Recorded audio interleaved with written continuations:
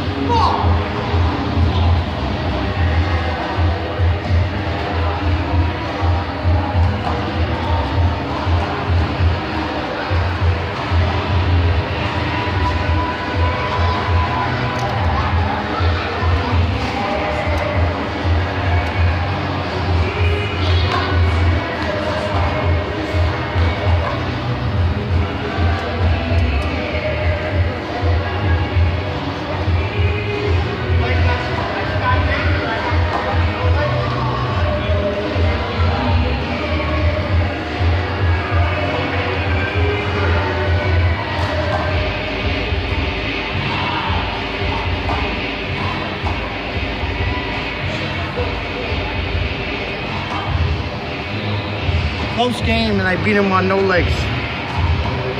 Uh, game two coming up.